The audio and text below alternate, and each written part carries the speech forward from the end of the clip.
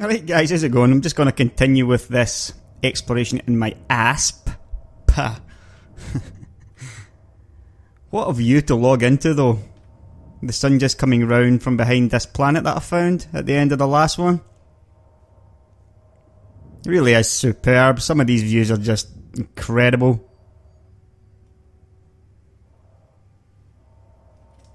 We've got a few contacts around as well.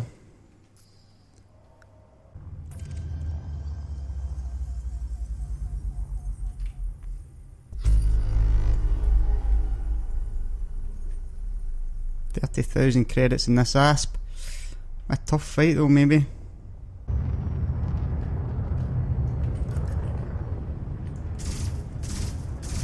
Let's find out what he's all about.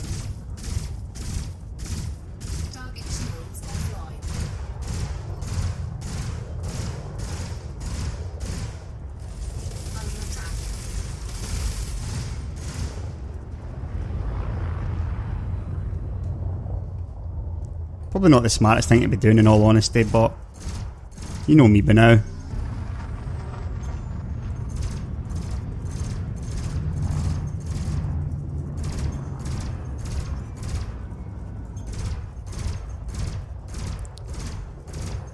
I've got his power plant targeted at least, so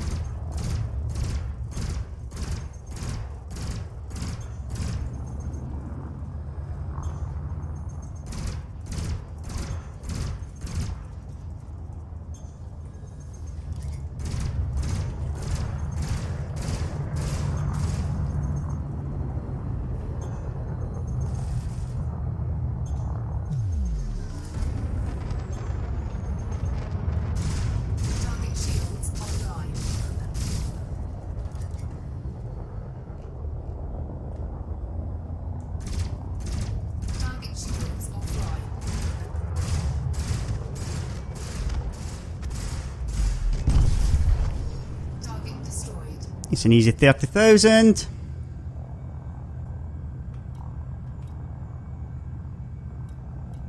Oh no, it was Federation for this guy. Yeah, so this is one of the reasons why I took weapons, yeah? And shields. Pick up some money when you're in at the, the nicer... You're in looking at the nicer planets. Right, but anyway, I'm going to continue on my journey. I was heading towards Beta Crucis, or B Which is a very hot blue star. Once again, you need to set fastest routes. I wish it would remember that. Should only be two jumps, 61.93 light years. It's actually going to be three jumps. And maybe this is one of these occasions where having the 34 light year jump would have been better. But I can only make it in three jumps. 57 new objects. Well, this is this is my record for finding objects in a system, that's for sure. I don't think there's anything particularly interesting about this star. it's a red dwarf. So look at the system map. So we've got a couple of red dwarfs. An awful lot of moons, basically. Is there nothing here that you're really gonna get too excited about? Yeah, I'm gonna just be quite content with the 57 objects and continue on my way. Right. Very large Class B star. Beta Crucis, or Becrux. I'm expecting black holes here.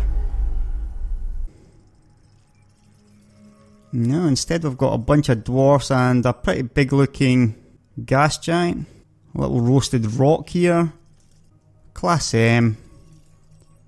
Pretty large looking Class L, but there's nothing there that I'm really remotely interested in checking out. There's a couple of blues here that I want to pick up, so yeah, I'm going to do this.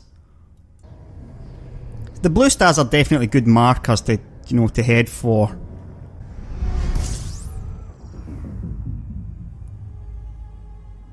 This one looks a little bit whiter. 44 objects. Alright, this will be pretty hot planet. Maybe go check that one out for the rings. We're looking at more dwarfs with rings. Wow, look at the size of the rings on this one. Go and check this one out, maybe? We'll check out this little first one just for a view, and then this big Class T dwarf. Interesting colour to this one. Uh huh. It hadn't, it hadn't popped up yet.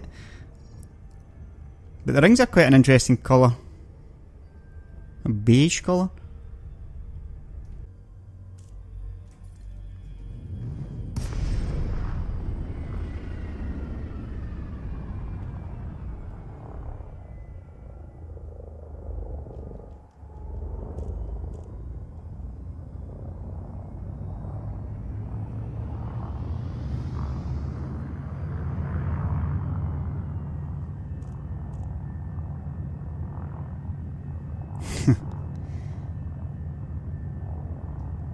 Endless sea of ice.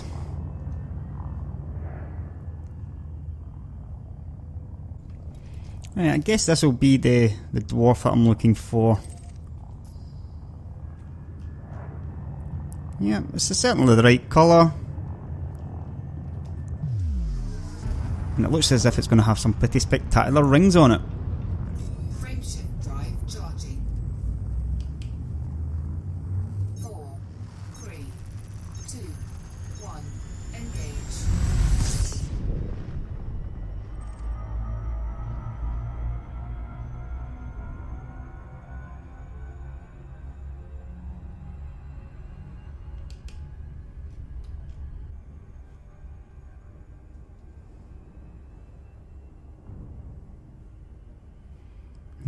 Feeling of how empty and lonely space can be. Seems worse with the blue stars for some reason. That eerie glow that they give off.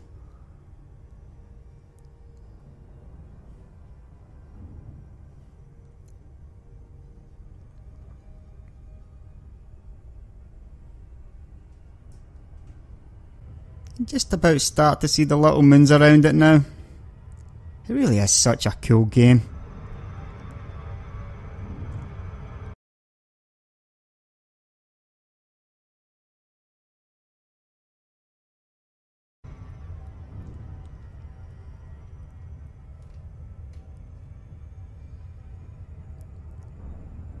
See about six moons now, five moons.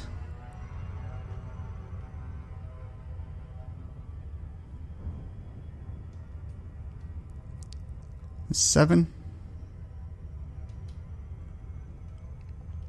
Just wonder how many people will actually appreciate you know, the engine behind the game.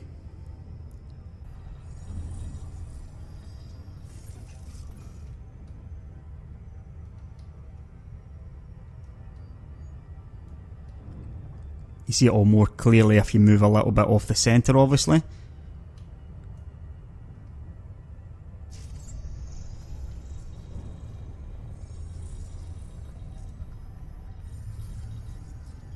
Quite see these rings, so I wonder if they're going to just pop in or are they very. Am I coming to it flat?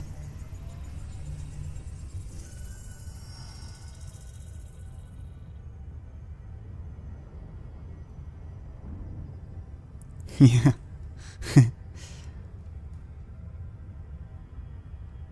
Pretty bizarre this is going to be.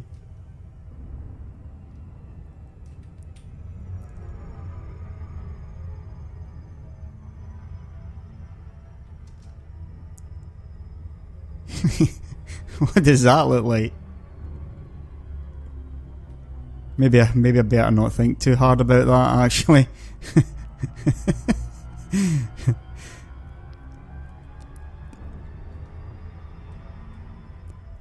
this is quite a set of rings.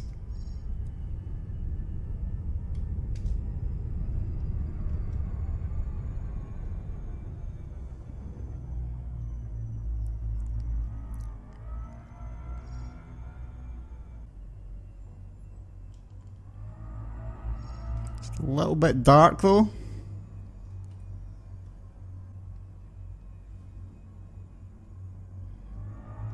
Yep, that's close enough, I think.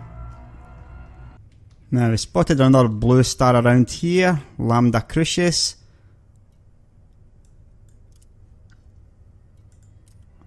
Quick jump over.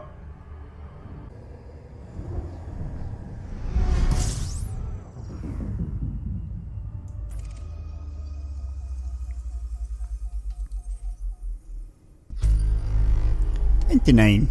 You do tend to find that these large blue white stars have got an awful lot of other bodies around them, especially other stars. An awful lot of dwarfs around them actually. Look at this. I mean, I thought the rings were big on the other one.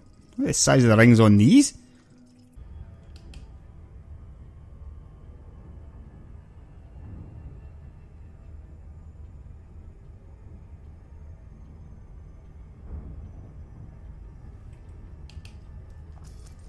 Let's continue on our journey. Right, I was heading towards a coal sack. It should be pretty pretty big red star coming up.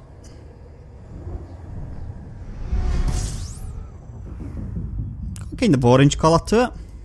There we go, we've got a a class K orange giant. A much smaller class M. Very close by actually, only 815 days. There it is. Right, we're now very close to this coal sack. A few more blues around here. Let's head a bit deeper in.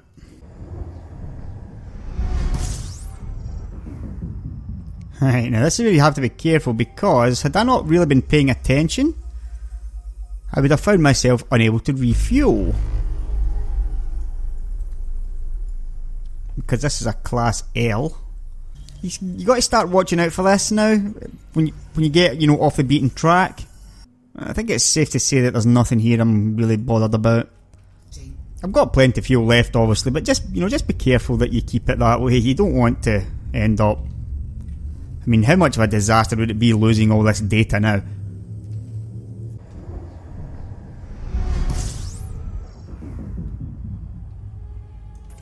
This is the first class A I've been to during this expedition, at least. Forty-seven objects. Right now, that's going to be a boiling rock.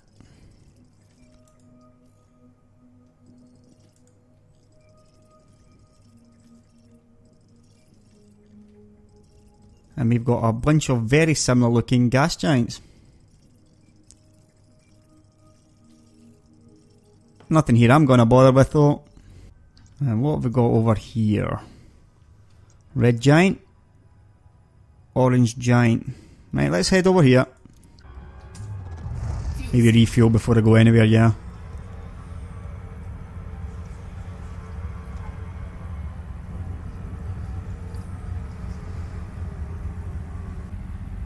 Class A seem pretty good at refueling it.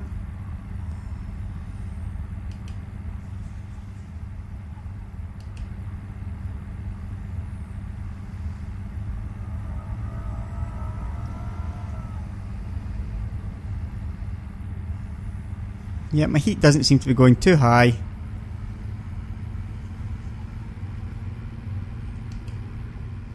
Fuel scooping complete.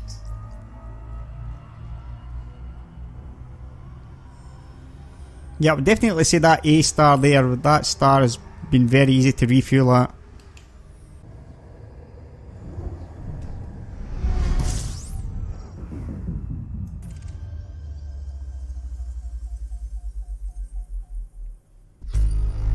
Looks like there's quite an awful, well, an awful lot of activity in this one.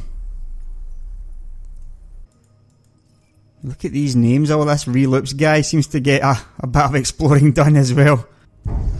Oh, I'm being interdicted by a sidewinder. Got a bit of fright there actually.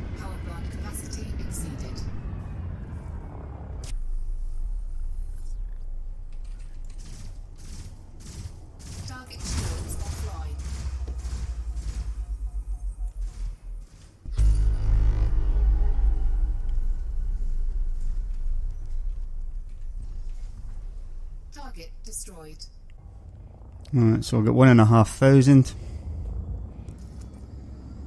Better than nothing. I'm not going to bother with anything else in this system. I would have to go all the way over here, which I'm not willing to do at 88,000 days.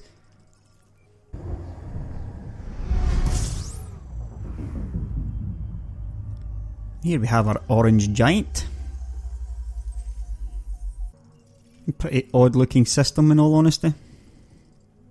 I think I'm just going to keep on heading in this same direction. Start now to find that you're really struggling to find any of the name stars. Just getting that bit further out now, so anything that I run across is going to be either very luminous or very large. And that's why it's all these procedural names. But there will of course be procedurally generated, you know, blue stars as well. So I spotted a blue star or a white. Worth jumping in here. That's right ahead of me.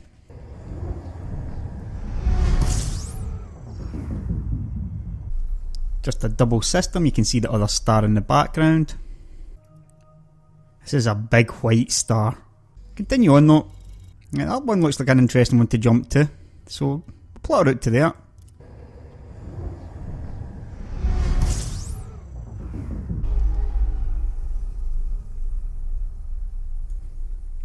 Looks like we've got five stars here, including this orange giant.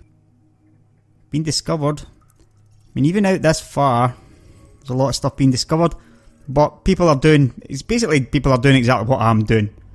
Having a look at the map, looking for the big things. Or the name stuff. There's a G8 over there, that's going to be my next stop. I mean, to me, this is the best way to do it. I think if you pick a direction, or if you've got like a, a final destination in mind, but just have a look in what direction you can go. As long as you're always heading towards that, you know, that final destination. There's an awful lot of these hip, these Hipparcos stars. It's almost like you can plot a course by them. I guess these are going to run out though, even you know as you get further and further out.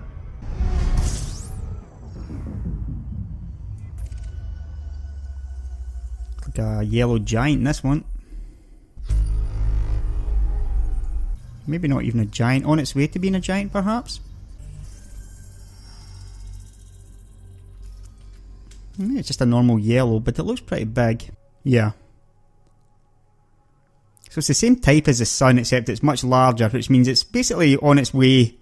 It's starting, you know, to, it's starting to move towards the giant phase. So as it gets bigger, the surface will start to cool. It'll turn orange, then it'll turn red. We're not exactly sure about how these things work. Apparently, they can, you know, they can move back the way as well. They can get hotter and stuff as they contract. But this is on its way to becoming a red giant. Probably swallow up all that.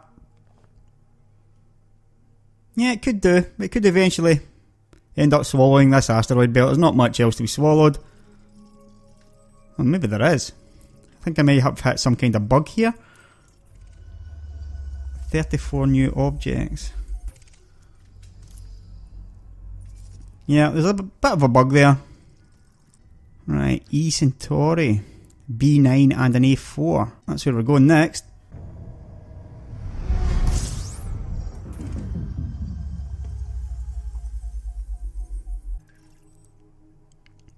Here's a system full of T Tauri stars.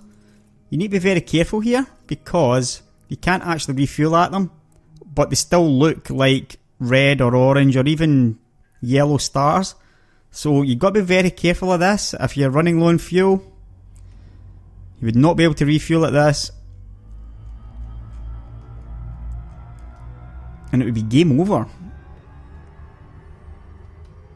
As you can see, I'm getting no fuel from it even though it looks like a typical red star. You can tell on the map it does look like a it doesn't look like a red star on the map, however. There's been a bit of a dearth of really good systems so far. I've been to plenty of these larger stars, but there's not been an awful lot fantastic out there, and this is another one I think. Dual star system, the second one is very far away. A B and an So I'm gonna refuel before I go anywhere now.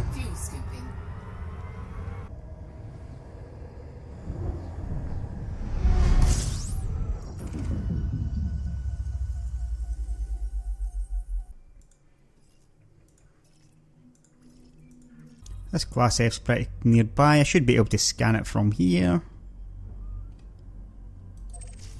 Yep, Right, we're really kind of getting devoid of stuff now.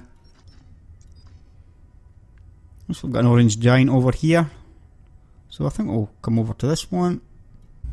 I'm not having a huge amount of luck so far. It's it's been pretty mediocre all around, I would say.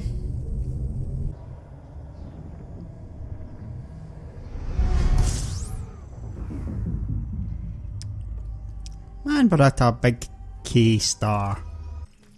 Quite an interestingly laid out system at least. This one's pretty close by, this one's pretty far. Again, there's not a huge amount here that I would be interested in. They're all tiny looking balls of rock. Been pretty disappointing how few how few water worlds and Earth-like worlds, you know, even potentials that I've had a look at.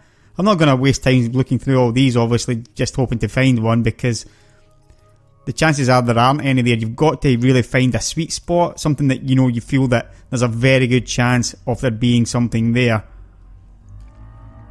I think class G stars, like our own sun, those are generally like the favourite favourites to find stuff like that. Or certainly K's, maybe the odd F star. But they've got to just be like, you know, just right. Really is like Goldilocks, just right. Continue on. Right, what have we got over here? An A2. Probably worth a visit. Did I see something else over here though? Uh-huh. This one's worth a visit, so I'm going to actually plot route to this, then jump over there.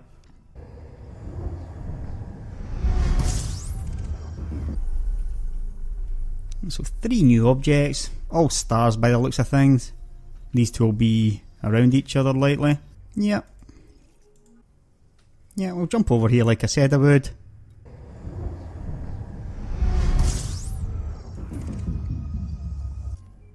Right, now these look interesting. They've got a very blue colour to them, some of these ones. This one especially. And given that it's a white star, you'd expect around about three or four AUs out to start seeing stuff like this. I mean, this is very high potential for a water world just by looking at it, yeah. So, yeah, I'm going to be, going to be checking these ones out. Let's just do them all. I'm guessing this one's going to be at least terraformable. You notice I'm not getting too close because it just slows you down. You don't want to get caught in the gravity of the planet, obviously.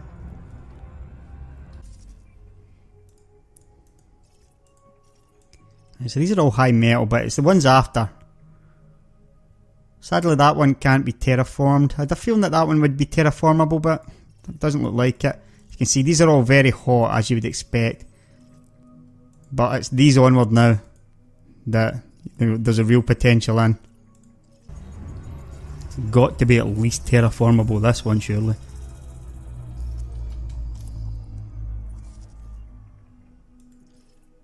No.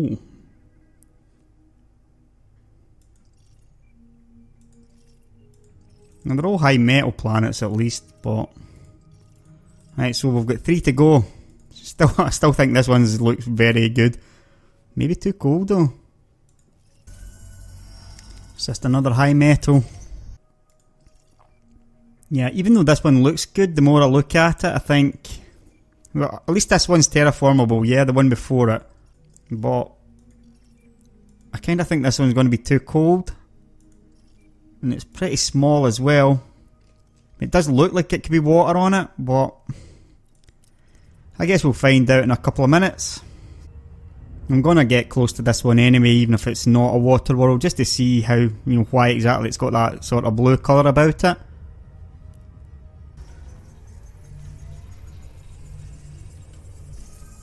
Got a water world! Finally something else!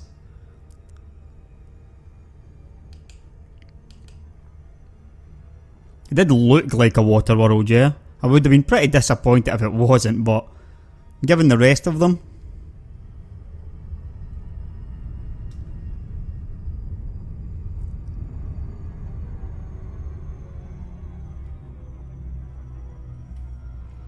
It's a real water world as well. There's not much land at all there.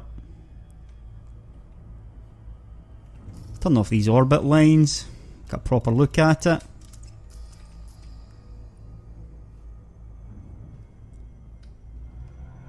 You're not quite Earth, but you're not bad, considering what else I've seen out here.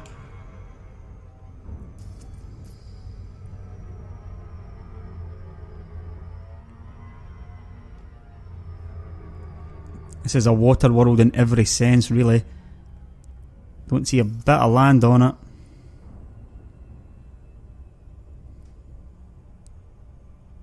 Pretty nice all the same. It's actually a little bit hotter than I thought it would be. A lot of oxygen on it. And it's got carbon water based life. This only leaves these last two. I'm not expecting anything at all out of these two, but I may as well finish this system just for the completion. I mean, this is what the second water world I've found in maybe about how many systems. One of the things that's slightly unrealistic about it is all the core systems that you start off in and around Earth and Lave and stuff like that, Achenar. There are very many Terran worlds or Earth-like worlds, and there's a lot of water worlds as well. But once you actually leave that core, you hardly find any. So it's a little bit unrealistic in that way. I would rather there were less Earth-like worlds in the core systems uh, or more out here rather than having an awful lot in and around where the player is going to be playing. It just doesn't seem all that realistic to me.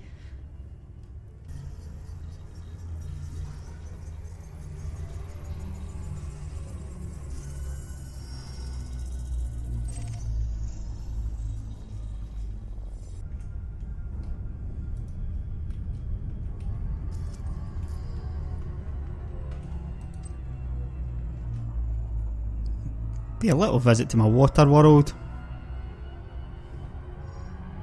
Just log out here.